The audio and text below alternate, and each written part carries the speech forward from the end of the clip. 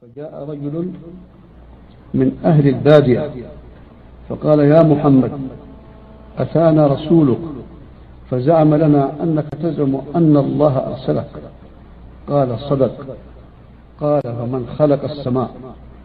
قال الله. قال فمن خلق الأرض. قال الله. قال فمن نصب هذه الجبال وجعل فيها ما جعل قال الله.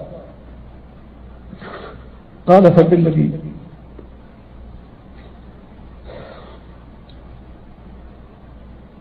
فبالذي خلق السماء وخلق الأرض ونصب هذه الجبال فالله أرسله. قال نعم. قال وزعم رسولك أن علينا خمس صلوات في يومنا وليلتنا. قال صدق. قال بالذي أرسله. آه الله أمرك بهذا؟ قال نعم. قال وزعم رسولك أن علينا زكاة في أموالنا. قال صدق. قال فبالذي أرسلك آه الله أمرك بهذا؟ قال نعم. قال وزعم رسولك أن علينا صوم شهر رمضان.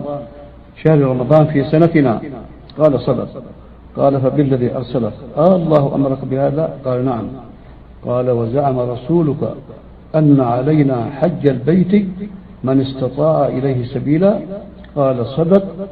قال ثم ولى قال والذي بعثك بالحق لا أزيد عليهن ولا أنقص منهن. فقال النبي صلى الله عليه وسلم لئن صدق ليدخلن الجنة.